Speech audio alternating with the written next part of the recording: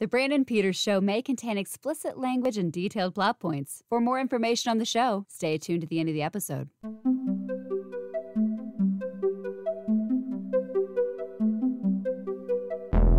Happy 4K BLUsday, everyone. Brought to you by WhySoBlue.com. This is the video companion to the podcast. Now, if you are a listener on the podcast, you may have just heard me talk about taking some time off from the 4K BLUsday segment on the podcast. That is not true for the YouTube version, though the YouTube version might be a little sporadic right now while that's off. So it might not be Tuesday, might be Tuesday and another day.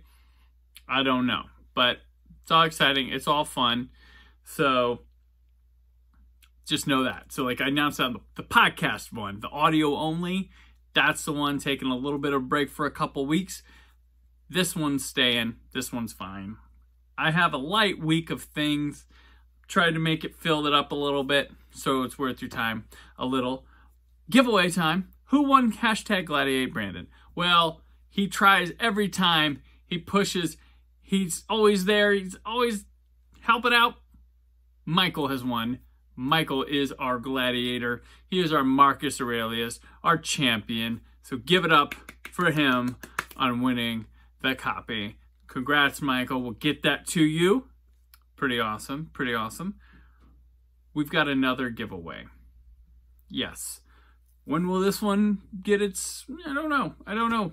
But this one is for Total Recall. This is the digital code coming from the new 4K Ultra HD set, which we'll take a look at in a little bit. So, this is another giveaway. I don't know when to announce the winner. Maybe next Tuesday, maybe Friday, maybe Saturday. Who knows? Get it in. This one's easy. Hashtag see you at the party, Brandon. I always like the see you at the party, Richter. Like that line. So see you at the party, Brandon. You want total recall? We need to get some people in on this. Let's do this. It's Arnold, it's Sharon Stone, it's Michael Ironside. Come on, Paul Verhoeven. This is an awesome movie. You want it. See you at the party, Brandon. So let's move in to this week's. We'll just start with Total Recall, the 4K Ultra HD one. Pretty cool. Also has a nifty little Best Buy Steelbook. I went with this one. There we go. I just watched it the other night. Looks awesome. Really good stuff. I really like the disc art. It's not much, but it's a three disc set. Picture and sound is awesome on it. They did a real nice restoration job. And the 4K disc has a really cool Carolco co company uh, documentary on it about the company that put this out. And they were like the prestige Cannon films. Like their stuff was like really good. Like you got like Terminator, Cliffhanger, Total Recall, that type of thing. But yeah, this is a recommend, and it's only $14.99. You gotta upgrade. You gotta pick up Total Recall. Awesome. It's one of the best Philip K. Dick based movies, one of Arnold's best movies, one of Paul Verhoeven's best movies, Sharon Stone, period. It's just awesome. Total Recall. Pick it up. Uh, another one I got, um, this is new this week. The Wolf of Snow Hollow. This is a new one from director and actor Jim Cummings. He directs and is the star of the film. It's also one of the last films of the late great Robert Forster. Now this one is a werewolf movie, but it does a nice, really cool blend of horror and comedy. And Jim Cummings, who's on the cover here, he's hilarious. Like I think he's got some ahead of his time comedy. I don't think everyone's gonna like this one right away. I think the humor in it's gonna be maybe a little weird. I was on board. This is really unique, new, funny stuff, and it's got some good scares. It's got some good horror. And it's got a really, really cool take on the werewolf genre. So I I recommend this one. Um, rent it so you know you're getting into. It's actually not too badly priced week one on Blu-ray, but this is really cool movie seek it out. Um, I also finally got the Coming to America 4K Ultra HD. Pop this one in uh, over the weekend. Look, it's beautiful. It's funny still. Eddie Murphy, but this is the weird thing. Just a 4K disc, man. No standard Blu-ray. Luckily, all the extras are on here, and it comes with a digital copy. This is a these Eddie Murphy movies worthwhile pickups. I still need to get Golden Child and Fury and uh, and uh, Trading Places. Those I got them all when it came for review for Blu-ray, but a Why So Blue we split them all out. So you can check out Aaron Neuwirth's review of The Golden Child. You can check out Adam Burns' review of Trading Places and Coming to America, all on WhySoBlue.com, as well as my review for Beverly Hills Cop. We teamed up, we crushed it. So I'm still too shy. I need to pick up those two standard Blu-ray on Paramount Presents. Uh, last week, I should have done better. Um, I showed you the Doctor Who set from the UK, the Jon Pertwee one. So, if reminder, but I didn't compare it to what the United States one looks like that comes out, which is it pales in comparison. Uh, my son Logan, who let me borrow his copy for this. Um, so let me show you. So look, they come in a standard Amaray. Look at a thin one too. It's got the back. It's got the bonus features. It's got one of the booklet pieces of art. Um, but when you open it up, there is no booklet. There is no episode guide in the back. And all the discs, they contain the same content, but they're exactly the same. Like, boring, you know? Like, they used to come with slip covers. When the first two seasons came out, they had slip covers. First three, actually. When this one started, the no slip covers. And you can see they call it Complete Jon Pertwee Complete Season 4. Whereas on this one, it's just Season 10 like it should be. And you also notice the discs have artwork that is specific to episodes. Like, they put a lot into this. They are limited in the UK. As far as I know right now, these are not limited. They're mass producing. Look how easy they are. Of course, they can keep producing these. So it's a choice that's made.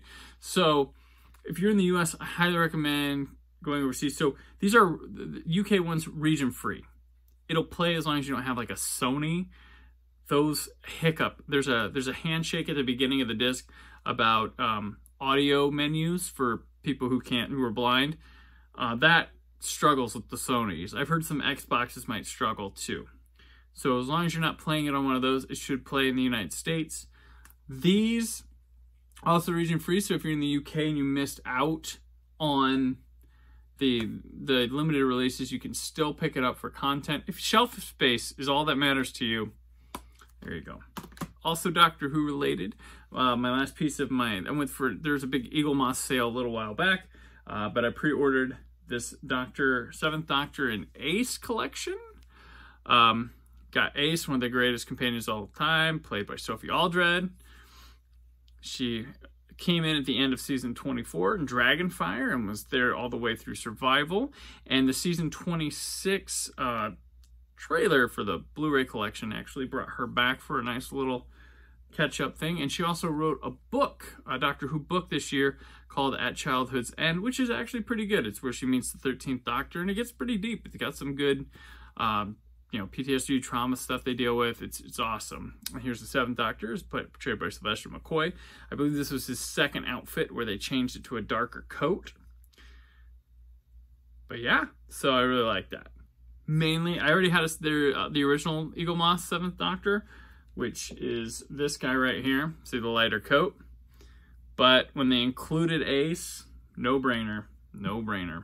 All right, now my pick of the week this week was The Curse of Frankenstein, the Hammer one from Warner Archive, which I highly recommend. It's a great disc, but I already covered it, I think a couple weeks ago on the show. So uh, check it out. Go back to the other video. My review is up on whysoblue.com. I've got a lot of reviews, including the Lord of the Rings 4K set. Haven't done The Hobbit yet, getting there, but those were shot in 4K, so I can't wait to actually look at them. Vintage pick of the week. This is big old Dirty Harry set from 2008. Like, I'm Dirty Harry fan. Um, like Clint Eastwood, his older stuff. He's been doing it too much for me lately, but classic Clint's good stuff. This thing is huge. So let's go through it one by one here. So first off, we've got this little bookie here. This this has Magnum Force and Dirty Harry in it. Open it up. There we are. Got his Magnum. You can see the art in the back. Then we got this little board separating. Now we have the Enforcer Sudden Impact and the Dead Pool.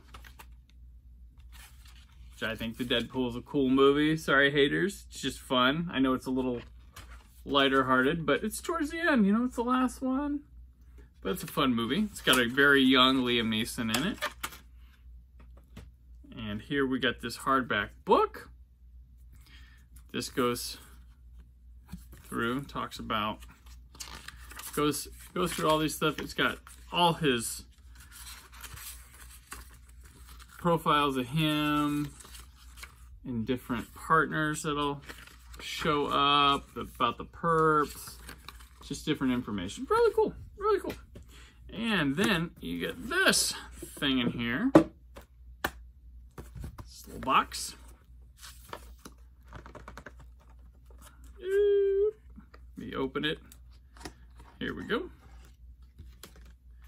And in this comes a couple things. Exciting, right? Watching me open this stuff. So you get a personal message from Mr. Clint Eastwood in this clear envelope. So, and then we get these lobby cards that are like, got posters on them for, you know, all of them. Sorry. I just, Magnum Force poster, I have it up in, over there in the corner, you can see it. It's an awesome poster, I like it a lot. Uh, these are like photo, these aren't like postcard quality, they're much glossier. Dead Pool. Got a telegram about just different copies of pieces of information, communications, and letters. Pretty cool. Then we have, there's a poster in here. Oh my gosh. I haven't opened this setup like this in a long time. Okay. So, oh, this is Dirty Harry. Oh, man. Yeah, so it's like a map of all Scorpio's victims. So intense set, lots of stuff. And then lastly, this thing, you open it up, it's the badge. Harry Callahan little badge. See, I liked it when they did cool little stupid things. In the series that I like, like Dirty Harry, yeah, I could take all this stuff. But I understand. Some bells and whistles, some things too bulky. Some people don't have space. I get it. But, you know, I like this Dirty Harry set. So I hope you enjoyed looking at all this random crap of mine too. So if you're a distributor and you would like to have your stuff featured on this show, hit me up. Uh, mail at brandonpetershow.com, naptownnerd at gmail.com if you want, or find me on social media at Brandon4KUHD. There's a chance I'm back this week on 4K BLUsday. I have my Vinegar Syndrome Black Friday haul, which I was hoping would be here by now. I might just do a video when it shows up. Also, pay attention to whysoblue.com. My top Blu-rays and 4K discs of the year list are coming out on Friday. I haven't decided whether that's going to be written or a video yet, but lo and behold, I'll drop it here. Um, but pay attention uh, might come. So that's great. Uh, tomorrow, uh, Old Space Show's back. We're winding down there on the Space 1999 stuff, so hope you're enjoying it, and I'm really excited where we're going next. It's going to be interesting and fun, and I hope you're uh, on board for all the Space Show adventures. This will be back probably next Tuesday, but like I said, could be some random spots. But there's always something coming from the Brandon Peters Show, and I appreciate everybody who watches who comments, who enters these competitions. See you at the party, Brandon. Yeah, hashtag see you at the party, Brandon, for Total Recall. Don't forget, you can win more than once. Do something crazy. It's Total Recall. We can we can do some fun stuff with that one, I'm sure. Looking at you, Ron Brown. Let's do this. And yeah, so thanks again. Appreciate you. And um, always remember to keep the positivity in your online film chatter. Thank you for listening. The Brandon Peters Show is a Creative Zombie Studios production. Produced by Brad Shoemaker and Brandon Peters. Written and edited by Brandon Peters. Announcer vocals by Jessica Alsman. Theme song by Metavari. Web design and show art by Brad Shoemaker with Brandon Peters. All music and clips featured in the episode are property of their respective studios, and no infringement is intended. Additional information on this and other episodes at thebrandonpetershow.com. For any inquiries, press opportunities, or sponsorship, contact mail at thebrandonpetershow.com. The show is available on Apple Podcast, Spotify, or anywhere podcasts are found.